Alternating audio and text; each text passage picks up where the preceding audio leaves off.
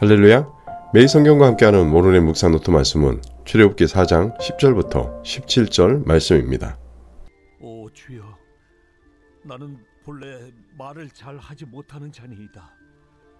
주께서 주의 종에게 명령하신 후에도 역시 그러하니 나는 입이 뻣뻣하고 혀가 둔한 자니이다.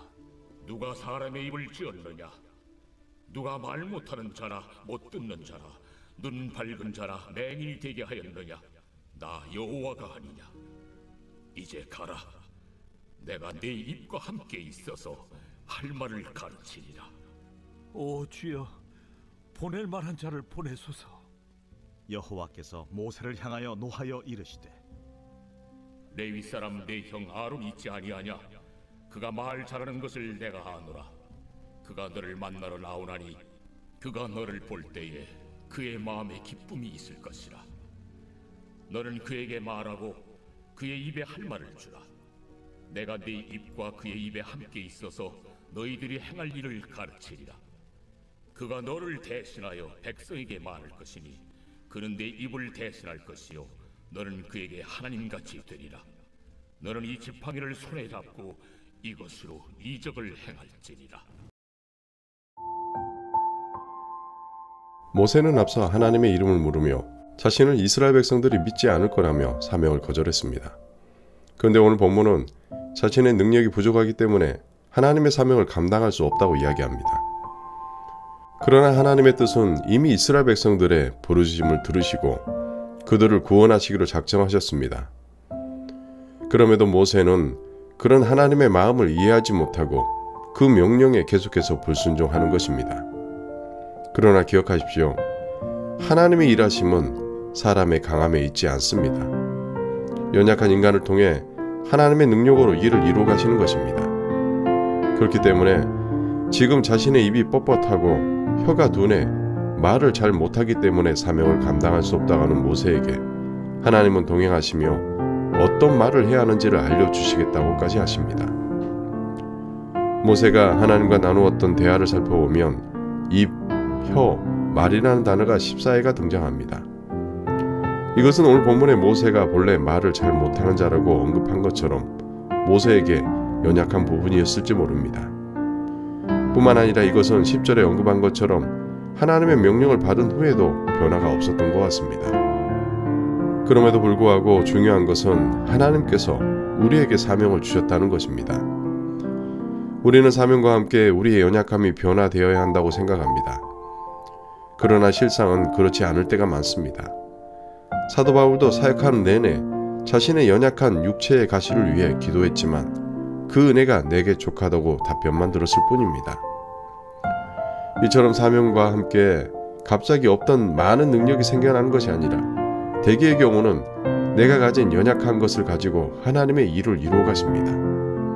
기억하십시오. 사명은 그 사명을 감당하는 그 사람의 조건에 의해 결정되어지는 것이 아닙니다. 오직 그 일을 이루시는 하나님이 이루어 가시는 것입니다. 그 하나님이 지금 모세가 그렇게 연약하다고 이야기하는 그 입과 함께 하시며 하실 말씀을 가르치시겠다고까지는 약속하십니다. 이처럼 우리의 능력의 강압의 여부를 떠나 하나님의 권세 아래 있어야 거룩한 능력이 나타납니다.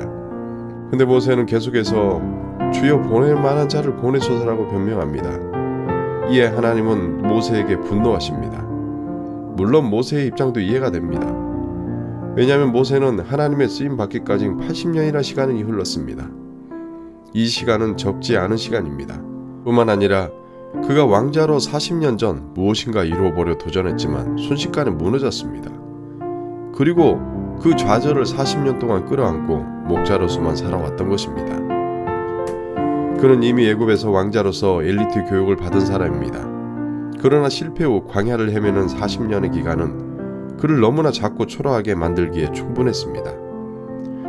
그런 모세를 알기에 하나님은 끝까지 그를 설득하지만 모세는 그런 자신의 처지를 극복하기 어려워했던 것입니다. 그런 그에게 하나님께서 크게 노하시며 그의 형 아론을 동역자로 붙여주십니다. 이처럼 우리는 이미 40년 전 애고빈을 쳐 죽인 사건으로 인해 크나큰 실패를 경험하고 40년 동안 광야에서 태물처럼 지내던 모세를 끝까지 설득하고 또 윽박 지르시기까지 모세를 붙들고 계시는 하나님의 열심을 봅니다.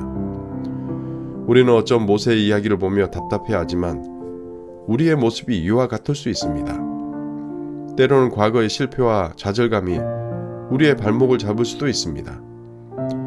때로는 하나님의 도전 앞에 여러 이유로 겸손을 가장하며 거절할 수도 있습니다.